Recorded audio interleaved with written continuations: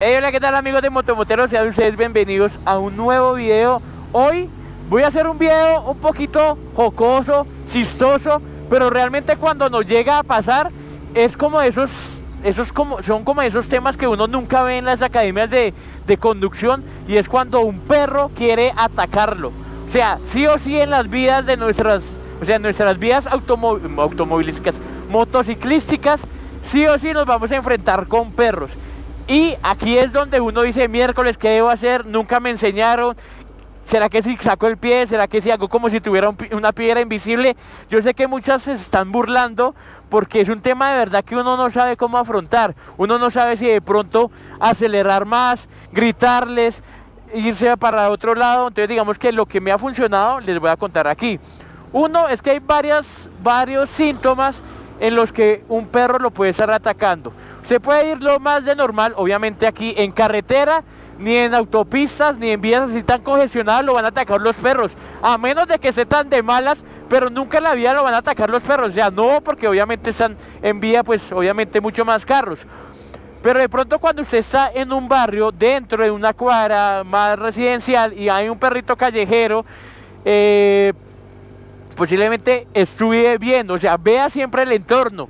Cuando un perro está normalito, que posiblemente es un perro de casa, y el perro de pronto está pasando la calle sin saber, tenga muy en cuenta que pobrecito el perro no está mirando, o sea, el perro para cruzar el andén, para cruzar la avenida, no ve hacia los dos lados y cruza, el perro solo se lanza, así como los niños. Entonces tenga muy en cuenta de que cuando va en barrios vea todo su entorno y piense mal, piense como si los perros se fueran a, atravesar, los niños también, entonces tengan mucho en cuenta eso, ¿listo? Ahora bien, si de pronto el perro ya lo que quiere es atacarlo literalmente, le recomiendo uno, es que si tiene posibilidad de tan solo acelerar y obviamente no poniendo en riesgo la vida suya, la del perro o la de otras personas, pues evitarlo, ¿listo? Ahí yo creo que no hay eh, consejo ni nada, sino que tan solo...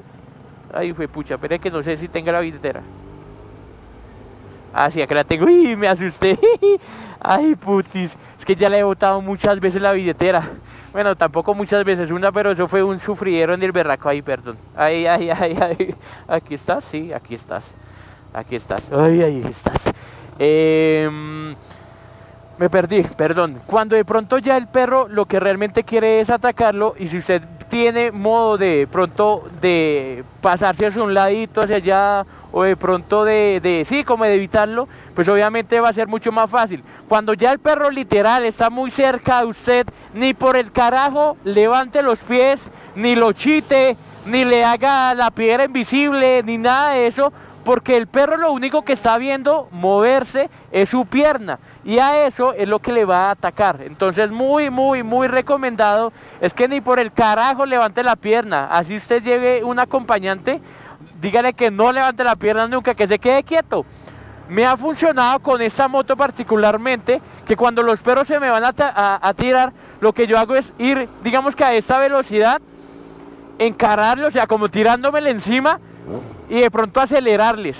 Eso en algunos, en algunos perros funciona, porque como que les da miedo, obviamente no me los voy a tirar y no me los voy a, no los voy a estrellar ni por el chiras, pero sí como que uno los encara, les acelera y ellos como se quitan. Pero hay unos perros que no, hay unos perros que son salvajes, son unos perros, pero yo creo que son los perros más violentos del mundo donde no le, no le importa nada de eso. Entonces ya le llega la oportunidad de que usted tiene que sí o sí detenerse y bajar los pies.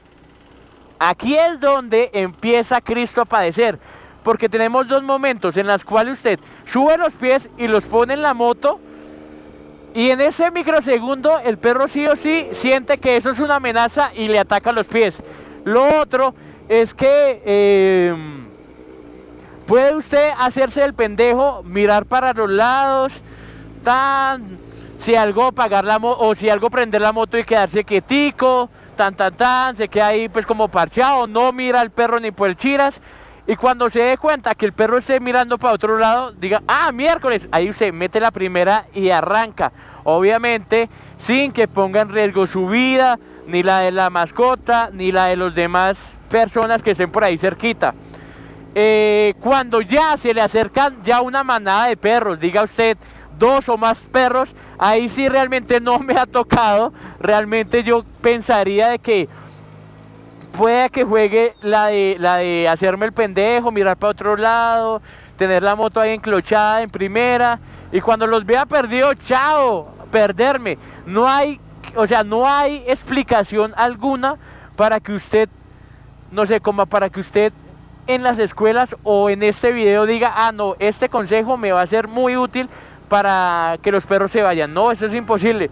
Los perros, los perros tienen eso ya educado, o sea, los perros van a la escuela de perros y una materia, una clase es cómo morder a motociclistas. Cómo saber que los motociclistas saben apoyo, tan solo eso. No mentiras, es molestando, espero que les haya gustado este video.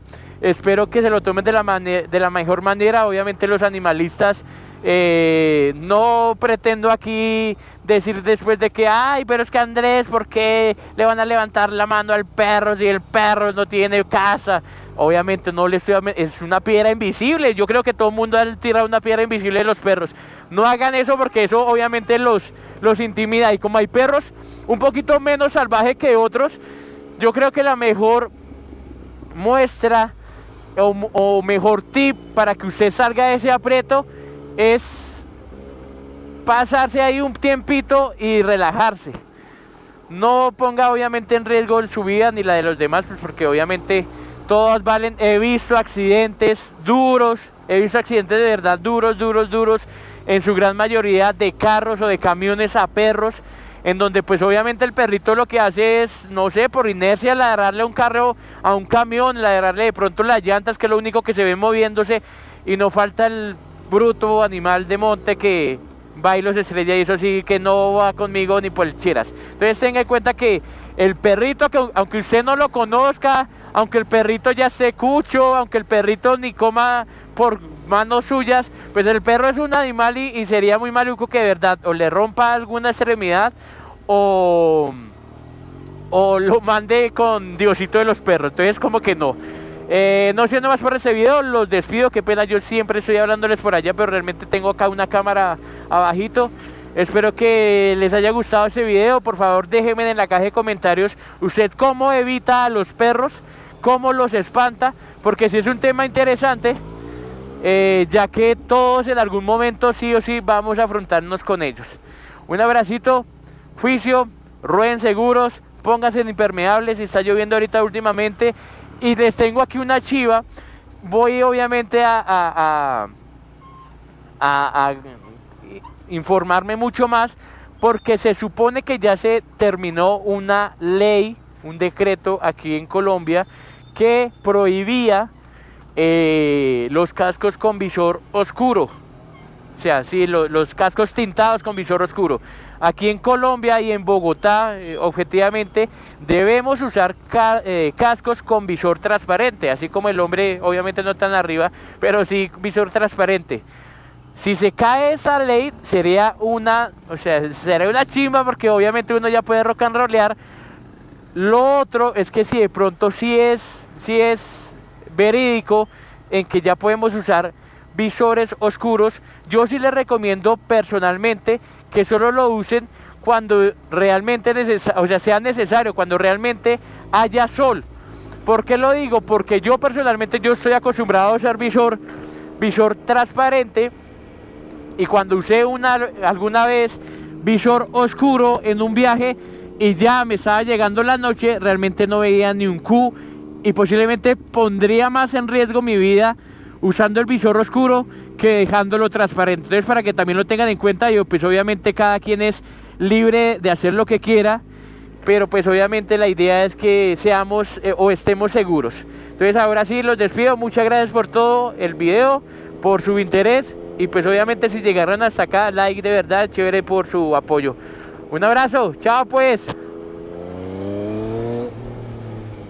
Les voy a dejar dos videitos, es más, se los voy a cantar. Les voy a dejar dos videitos por aquí para que vean